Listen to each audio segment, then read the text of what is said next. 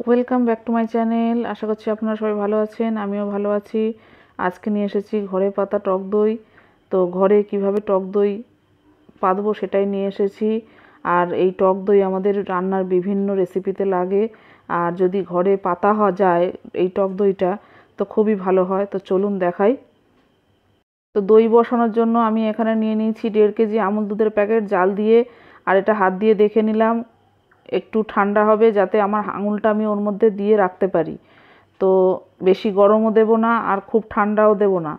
এখানে একটা কন্টেনার নিয়েছি, এর মধ্যে আমি খানিকটা দইয়ের দম্বল, এটাও আমার ঘরে পাতার দই, সেই দই দিয়েই আমি দম্বল দিয়ে বসাচ্ছি।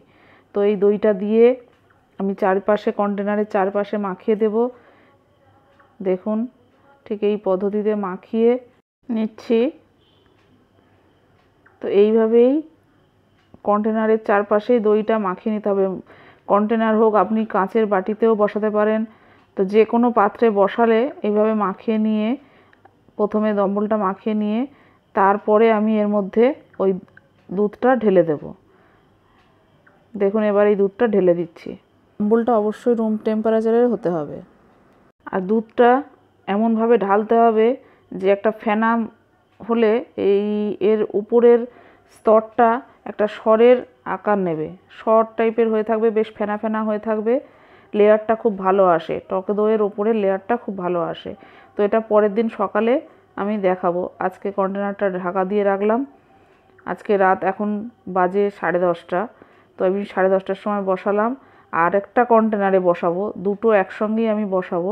তো এটা নিচ্ছি কাঁচের বাটি। আপনাদেরকে দুটো দেখাচ্ছি। একটা এমনি কন্টেনারে দেখালাম। আর একটা কাঁচের বাটিতে দেখাচ্ছি, দুটোতেই দেখাচ্ছি। ঠিক সেম পদ্ধতিতে আমি দইটা বসাচ্ছি। তো একইভাবে দইটা, দুধ, দইটার মধ্যে দুধটা ঢেলে দিচ্ছি। আর এখানে শর্টটা পড়ছে, তো শর্টটা পড়লে এটার টক দইয়ের একটা লেয়ার আসে। তো শর্টটা পড়লে কোনো অসুবিধে হবে না।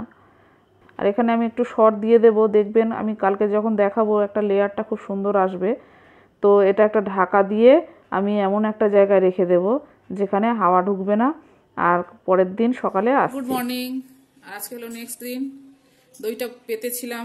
সেই দইটা এখন ফ্রিজে ঢোকায়নি তুলছি। এখন বাজে সাড়ে নটা।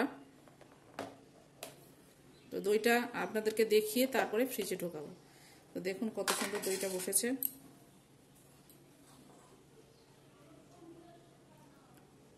একদম সুন্দর দইটা বসেছে। দুটোতে বসিয়েছিলাম। অল্প একটু দই দিয়ে। আর ওটাও ছিল আমার ঘরের দই। ঘরের পাতা দই। তো এটা থেকে আমি কেটে একটু দেখাবো।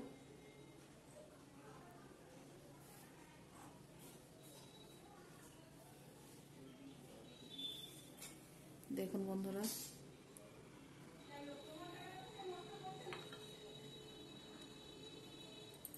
এটা থেকেও দেখাচ্ছি।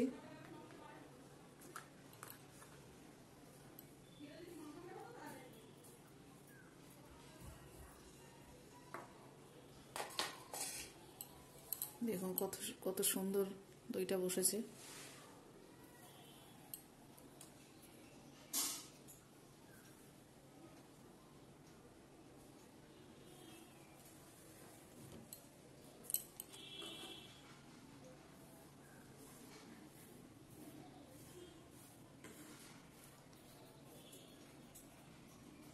ঘরের খাওয়ার জন্য আর এই নানান রকম রেসিপি বানার জন্য, বানানোর জন্য এরকম ঘরের দই পাতলে অনেকটাই সুবিধে হয়। তো এরকম পদ্ধতিতে বানাবেন।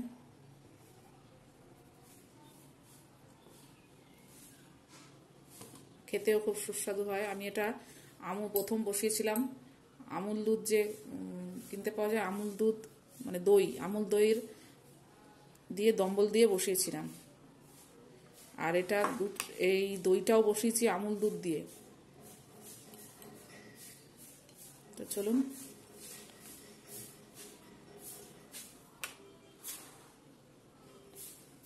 তো ভালো লাগলে আমার চ্যানেলটিকে প্লিজ সাবস্ক্রাইব করবেন আর ছোট্ট লাইক দিয়ে দেবেন বন্ধু বান্ধবকে শেয়ার করবেন। থ্যাংকস ফর ওয়াচিং আর একটা জিনিস, দইয়ের দম্বলটা অবশ্যই রুম টেম্পারেচার হতে হবে।